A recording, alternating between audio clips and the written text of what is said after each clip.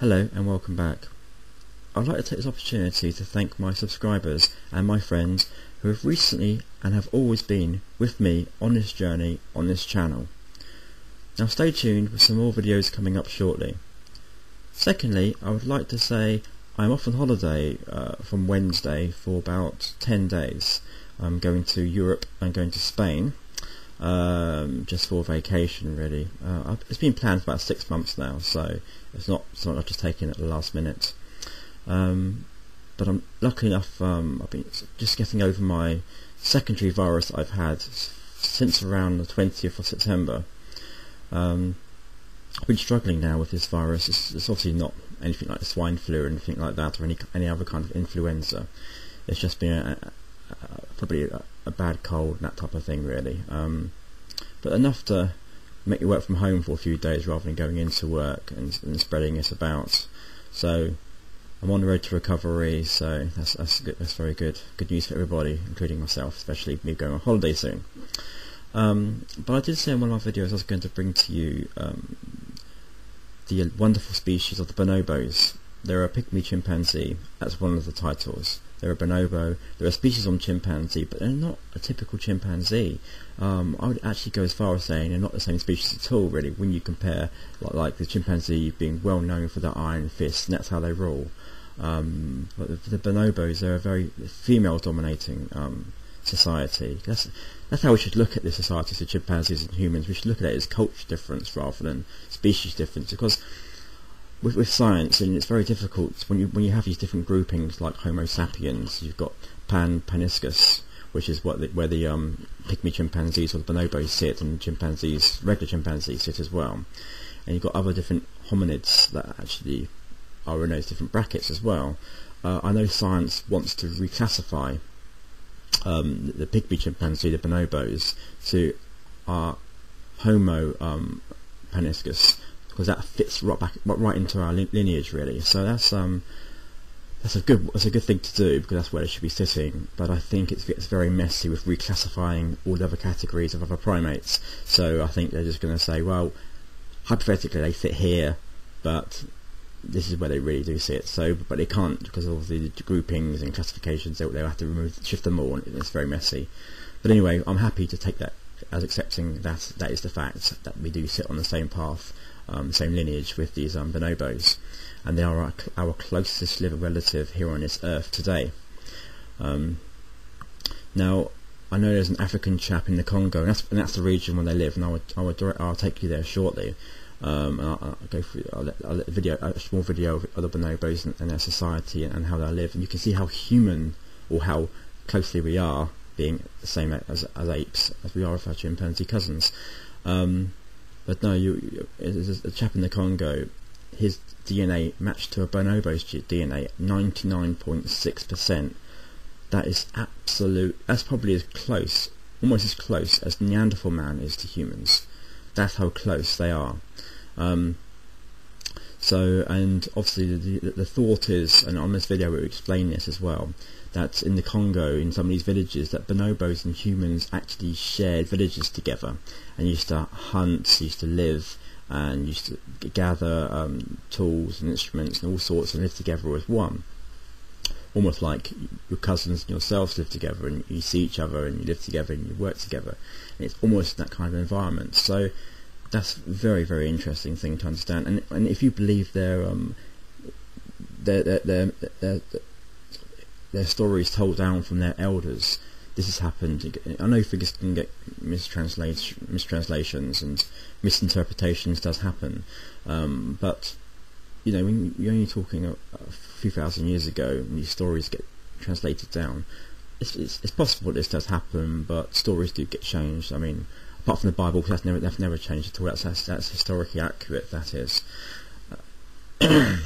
um, so yeah, so you, people can people do believe that people in these villages do sincerely believe that is the case, and you know if that, if that happened, then fantastic. I, I, can see it happening because they're not aggressive like the um, other sort of chimpanzees are. So anyway, I'd like to introduce you to bonobos, and they live in the Congo. So follow me on this journey. Thank you.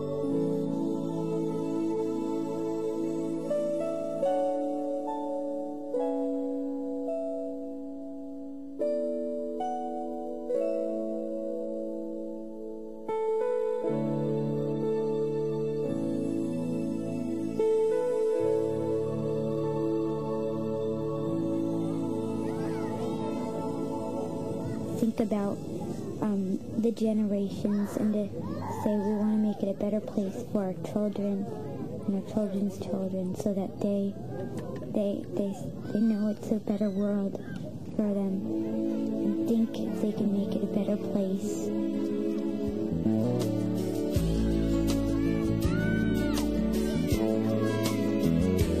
There's a place in your heart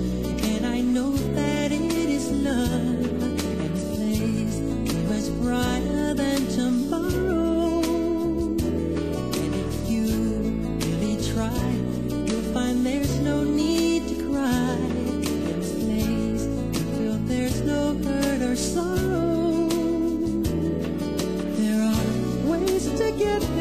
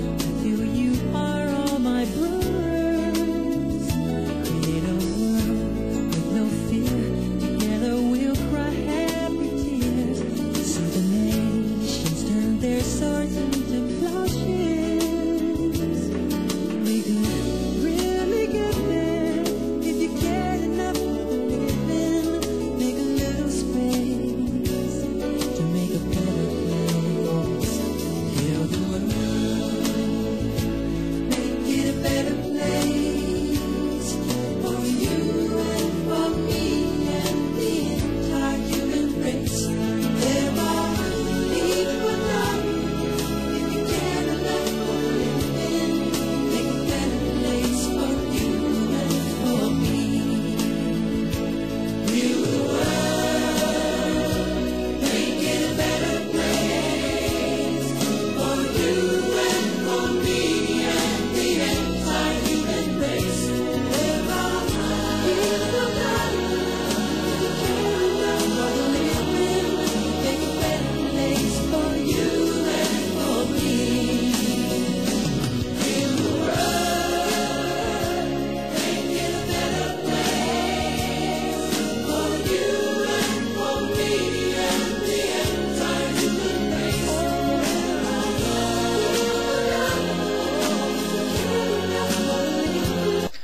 So there we have it, the bonobos. They are an amazing species. But also, the bonobos chimpanzees have the same organs as us humans, also same blood type and blood groups, and are fully compatible for any kinds of transfusions. Um, chimpanzees are normally blood type O, which means they contain um, antigen A, antigen B antibodies, which obviously antigens are to help with our immune system. Um, but you know, there's just no doubts that humans and chimpanzees share the same common ancestor. Thanks for watching. I'll speak to you after my holiday. Thanks again, Loz.